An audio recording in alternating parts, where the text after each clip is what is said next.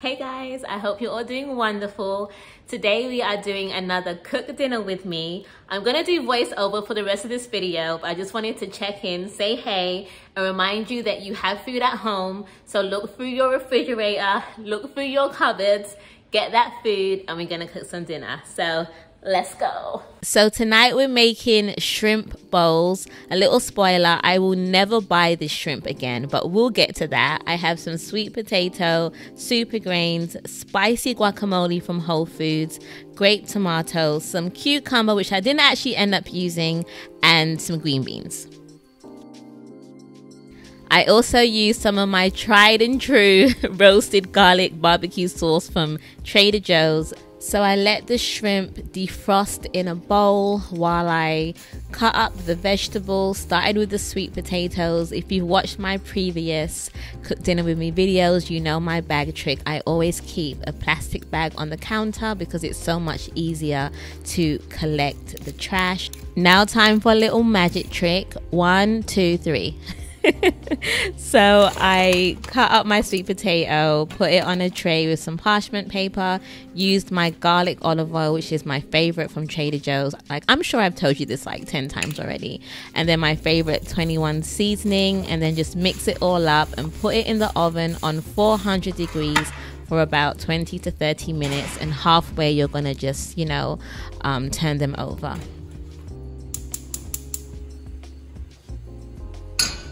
Time for the super grains, I added two cups of water and one cup of the super grains.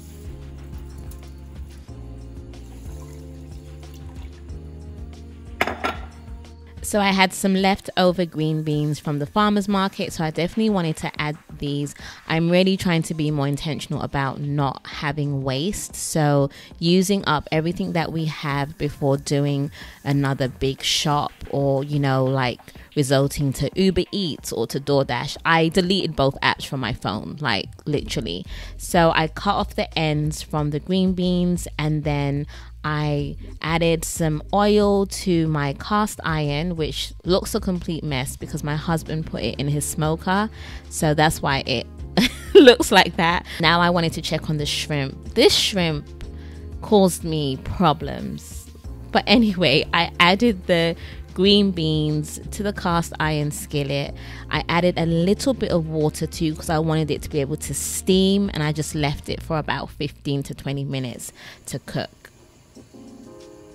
So let's talk about this shrimp. It took me at least 30 minutes to clean and devein the shrimp, even though on the packet it says devein. So that was a little irritating. I probably won't be buying this again. No, I will not be buying this shrimp again.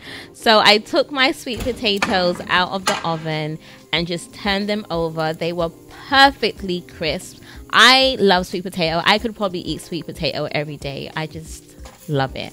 Now onto the green beans, the same thing. I just checked on them and just swished them around a little bit.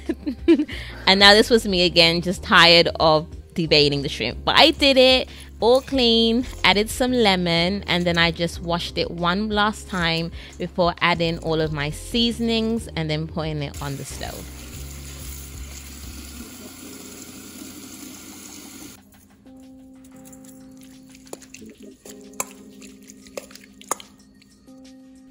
So I added just a little bit of my sriracha barbecue sauce Believe me when I say that this sauce adds flavor and amazing taste to everything. So I'm cooking the shrimp on the stove. My goal is for it to stew because I'm going to also add some tomatoes and then a little bit more of the barbecue sauce. I've done this a few times before and we really enjoyed it. So I thought, you know what? Like I had all the ingredients for it, so I thought I'd make it again.